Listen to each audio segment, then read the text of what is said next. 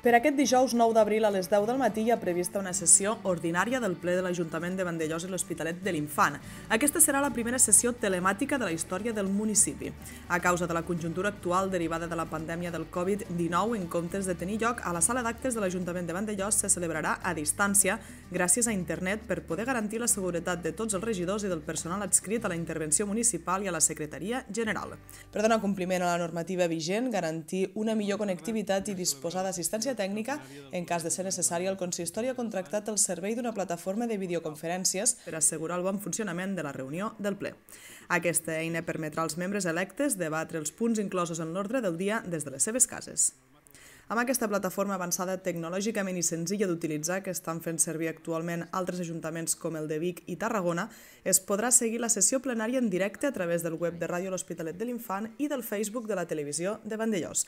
La sessió, a més, quedarà enregistrada i la TVB podrà emetre-la en diferit i penjar-la en el seu canal de YouTube. Ah, vale, doncs així l'he hagut d'agafar. Doncs ja està bé.